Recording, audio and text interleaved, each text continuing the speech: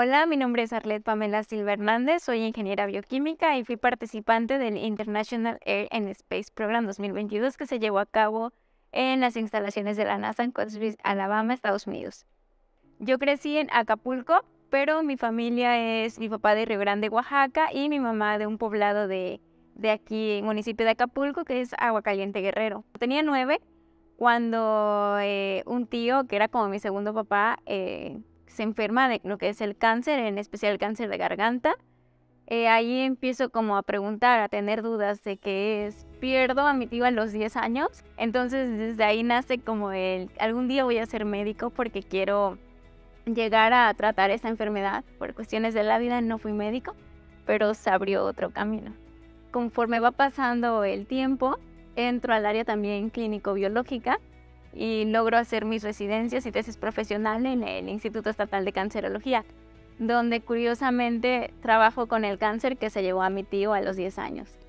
Se abre una convocatoria para eh, hablar sobre un este, experimento de cómo se relaciona tu carrera y con el área aeroespacial. Y bueno, gracias a Dios eh, quedo.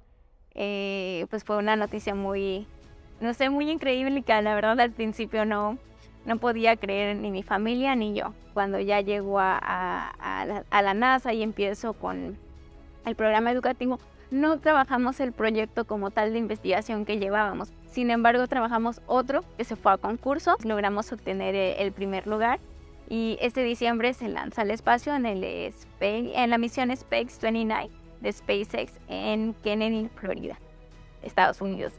Saber que tú como mujer llegas a este tema donde mucha gente no puede ingresar, como es la ingeniería, porque piensan que es solamente de un género, entonces que tú ahí, que una niña te diga, yo quiero ser como tú el día de mañana, yo creo que es algo muy importante para que el día de mañana haya una ingeniera, una doctora, un astronauta y demás. Personalmente a mí me inspiran mujeres que, que de verdad hacen mucho y que a veces piensan que, que hacen poco. Eh, la primera mujer que a mí me inspira es mi mamá, pues por todo lo que ha pasado y ha logrado eh, levantarse. A mis hermanas, la maestra Alma Rosa, las personas que más se deben admirar son las que no están arriba, sino las que están a tu lado. Entonces, para mí, pues son las mujeres más cercanas las que me inspiran. Y si hablamos de, de temas de ciencia, pues una mujer que siempre mencionamos, que es Marie Curie, que fue la, la primera mujer que entró a la ciencia y sobre todo que ganó dos premios Nobel. En Guerrero existen demasiada, demasiada mujer, y no solo en Guerrero, en México y el mundo, demasiada mujer talentosa. El que yo esté aquí sentada hoy en día hablando de, de, mi, de lo que hice por atreverme, yo creo que el día de mañana inspira a una niña, a una joven, a la juventud en general. Me gusta mucho creer que cuando doy una plática o una conferencia, en una persona se queda eso de, y si lo intento, y si, y si lo logro para cambiar el futuro, eh, si hablamos de ciencia y tecnología, primero se debe de invertir.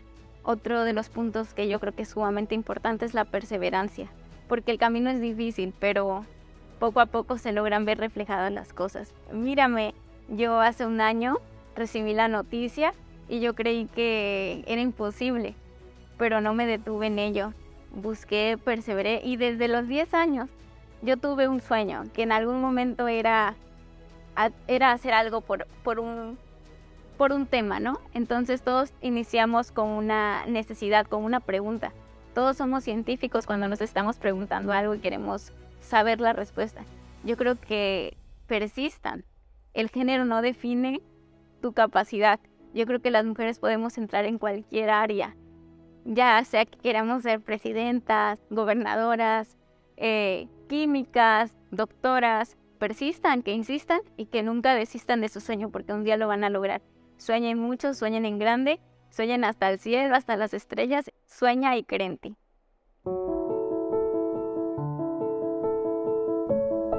Mujeres inspirando mujeres.